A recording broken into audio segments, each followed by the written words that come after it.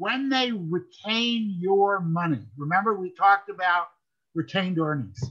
You want to know what kind of value they're going to create. Now, again, start with qualitative.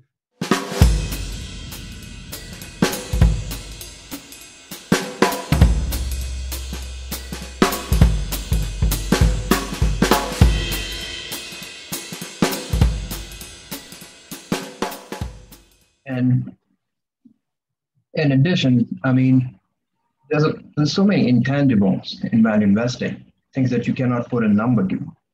Uh, one of them is management, which is extraordinarily important, and um, the ability to allocate capital.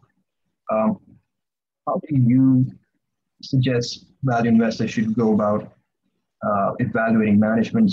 Okay, okay, that's a really good question, and I think there are qualitative things you want to look for, and then there's actually a quantitative number you want to look for. In the book, we actually do this uh, for a company which is Intel. So the qualitative thing about management is, and remember, this is mostly going to be for franchise businesses because the bad managements are usually going to die uh, in the competitive markets. And therefore, ideally, they'll get taken over and the asset values to circulate. So we're now talking about the franchise uh, businesses.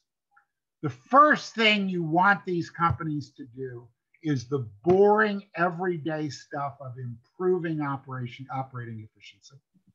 So when you go to talk to that management, you want to look at their record of growing margins without crazy investments, without sort of trying to do mm-hmm. leading edge technology, just every day paying attention to small improvements and have a record of growing margins. So that's the first thing you want to look for, and you can quantify that.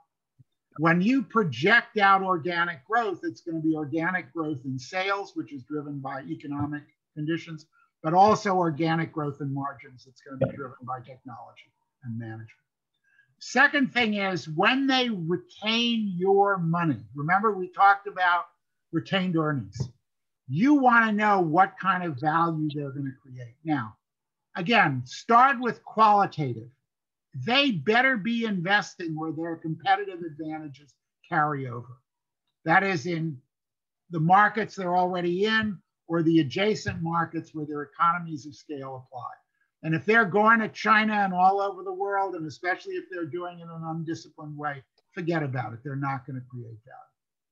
But then you can look at their expansion history because they typically have to report geographic and other segment performance. And you can look at the returns that they've generated. You can also look at their history of acquisitions. And there is a number that we talk about in the book, which is a value creation factor. For every dollar that they retain and reinvest in active sort of expansion of their business, how much value do they create? For Intel, that number is about 20 cents because what they do is spend $16 billion on Mobileye that has nothing to do with their core business, where they bring nothing to the table, where they almost certainly overpaid. And the other one they did was programmable chips. And since they reported that segment after they bought it, you could see that they were earning about a 20% of their cost of capital on what they spent on that business, which was another close to 16, 12 to 16 billion dollars. So tracking what management does qualitatively